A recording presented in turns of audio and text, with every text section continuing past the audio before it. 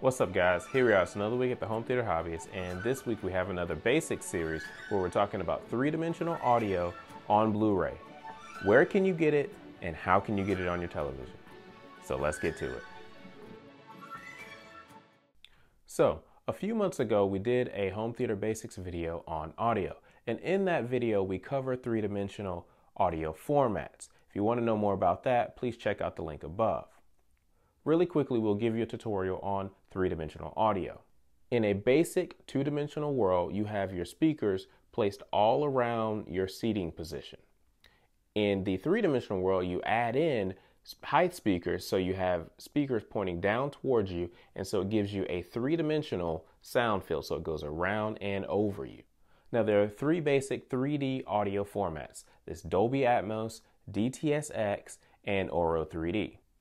In the US, Dolby Atmos and DTS:X are the main players, and those are the ones that we're going to focus on in this video. Here we are in early 2018, and if you have purchased an AV receiver within the past, let's say 12 months, it probably came with Dolby Atmos DTS:X, which is pretty good. And if you haven't purchased one, the good news is there are a lot of them, like this Sony that I'm showing right now, the STR-DH790 it's going to be available soon for $379. According to the website, it's Dolby Atmos and DTS:X compatible. So what that really means is that this particular technology is dropping all the way down the AV receiver line, which is great.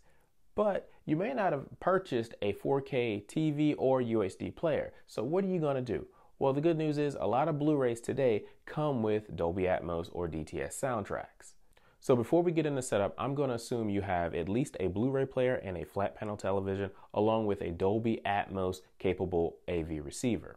Assuming you have those things, you need to go into your Blu-ray player's settings menu, go to audio settings, find the digital audio output setting, select bitstream if it's not already selected, and this will send the ones and zeros that you need to your receiver. From there, your receiver will be able to decode the signal that it gets. Okay, so once you've done that, you can now start purchasing Blu-ray discs that have Dolby Atmos and DTS:X soundtracks on them and watch them and enjoy them in your home. One of the things that we recommend is that you go ahead and you pick up that 4K UHD Blu-ray that also has a standard Blu-ray in the package. That way when you do get a 4K UHD TV, you already have some movies to play on it.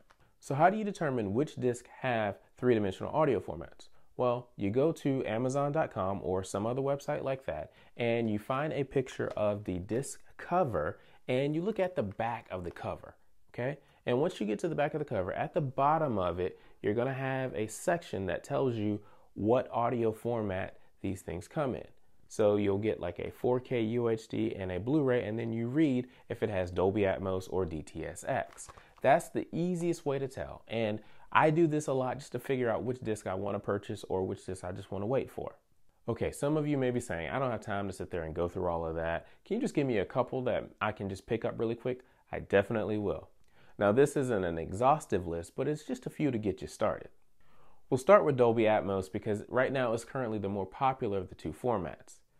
First of all, we'll start with Mad Max Fury Road, Wonder Woman, Hacksaw Ridge, Blade Runner 2049, Lego Ninjago, Deepwater Horizon, Kong Skull Island, The Mummy 2017 edition, Fantastic Beasts and Where to Find Them, It the 2017 edition, Transformers Age of Extinction, American Assassin, and Jupiter Ascending.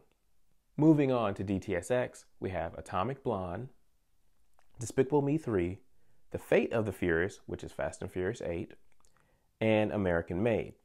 Like I said, this is not an exhaustive list, so if you know of some others, please post them in the comments section below. Hopefully you guys found this video helpful. Please like, subscribe, comment below. Also, if you enjoy the content that you see on this channel, please consider supporting us on Patreon. Thank you guys. We'll talk to you next time.